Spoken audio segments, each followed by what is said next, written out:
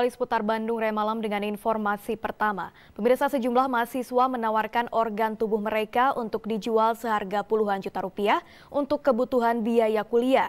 Sejumlah organ tersebut di antaranya mata, ginjal, dan hati dengan harga yang berbeda. Hal tersebut dilakukan mahasiswa UPI saat berunjuk rasa di kampus UPI Senin siang menuntut penghapusan uang pangkal yang dinilai mahal.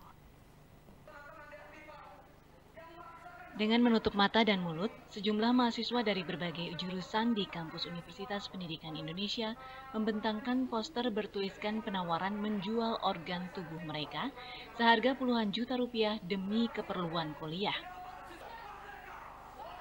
Dalam poster yang dibentangkan mahasiswa ini, organ tubuh yang ditawarkan antara lain mata seharga 20 juta, ginjal 30 juta, dan hati 28 juta rupiah. Hal tersebut dilakukan ratusan mahasiswa dalam unjuk rasa di kampus Universitas Pendidikan Indonesia Bandung Senin siang.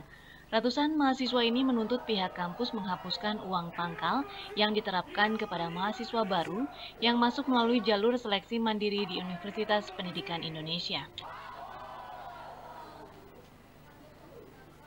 Menurut koordinator aksi Yetno, uang pangkal tersebut merupakan bentuk liberalisasi pendidikan, sehingga menyulitkan mahasiswa yang orang tuanya tidak mampu membiayai kuliah. Padahal banyak cara yang bisa dilakukan pihak kampus jika uang tersebut untuk kebutuhan pembangunan bahasa kaminya, bahasa mahasiswanya adalah komersialisasi pendidikan gitu. Karena apa gitu? Karena sudah sejak lama sebenarnya masalah ini muncul gitu.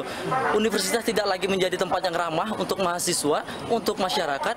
Karena apa gitu? Karena pemimpinnya, karena rektorat-rektoratnya menerapkan uang pangkal, menerapkan uh, ataupun mengambil pungutan-pungutan biaya terhadap mahasiswa itu begitu besar gitu. Menolak uang pangkal jalur seleksi mandiri UPI karena kita melihat uang pangkal yang berjumlah 20 sampai 30 juta ini merupakan salah satu merampas hak pendidikan warga negara yang seharusnya dijamin oleh negara dalam hal ini UPI.